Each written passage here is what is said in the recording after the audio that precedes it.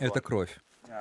Ричард Уир находится в украинском городе Буча по поручению Human Rights Watch. Он один из сотен следователей, документирующих возможные военные преступления, совершенные российскими войсками.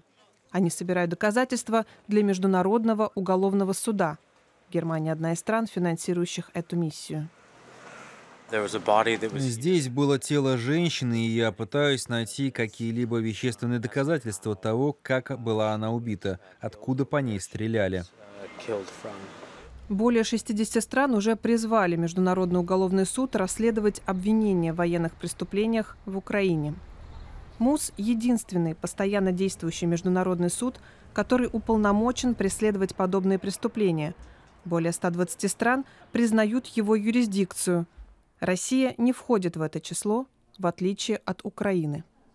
Здесь, в Гаге, суд возглавляют 18 судей и два главных прокурора – когда у нас есть информация о степени тяжести этих преступлений и факт отсутствия серьезного расследования на национальном уровне, тогда это может стать необходимым в интересах жертв и в интересах правосудия.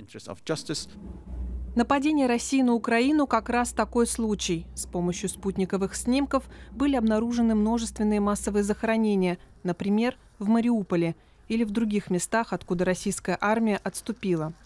Президент Украины Владимир Зеленский обвинил Россию в попытке уничтожить его страну. Мы видим, что Россия пытается уничтожить украинское государство и украинский народ. Это настоящий геноцид. Снимки из Украины шокируют. Тем не менее, пока следователи говорят, что не нашли однозначных доказательств систематических и скоординированных убийств – но по обвинению в военных преступлениях также могут привлечь к ответственности президента России Владимира Путина и его генералов. МУС потенциально уже может выдавать международные ордера на аресты. Для этого потребуются задокументированные конкретные преступления и доказательства того, кто именно отдавал приказы или, по крайней мере, с чьего одобрения они были совершены. Äh, Я считаю, что ордер на арест важен, он будет иметь огромное символическое значение. Это дополнительный инструмент, который можно использовать для давления на Путина. И на более отдаленную перспективу. Такие ордера на арест еще больше изолируют президента Путина, но международное право не предусматривает заочного судебного разбирательства – в таком случае Путин должен был бы физически присутствовать в Гааге. Эксперты говорят, что такой исход сомнителен, но не невозможен.